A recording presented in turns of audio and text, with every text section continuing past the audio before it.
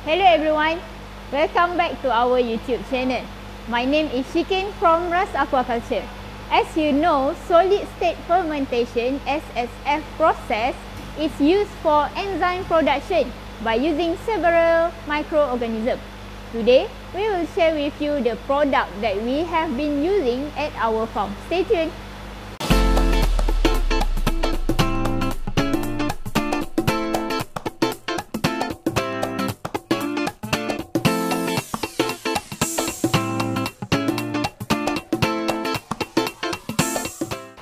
Our farm, we use SSF enzyme which is an enzyme complex generated naturally by a strain of a fungus Aspergillus niger which is great and increase positive effect.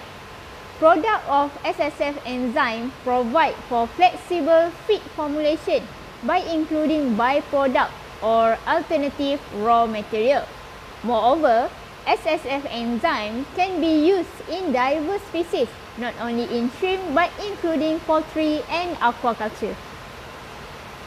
In addition, this product function as an improved nutrient density by releasing additional energy, protein and mineral for absorption.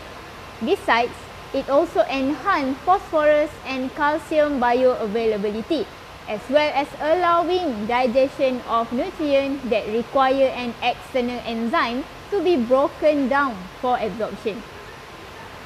Other than that, use of this enzyme will provide cost efficiency to the system and operation, such as reducing feed and mineral supplement because this enzyme already absorb excess phosphorus and calcium. However, you need to give feed immediately after it is mixed with the enzyme. This is to get 100% efficiency of the nutrient absorption. For those in Malaysia, we will soon upload the enzyme product on our Shopee account.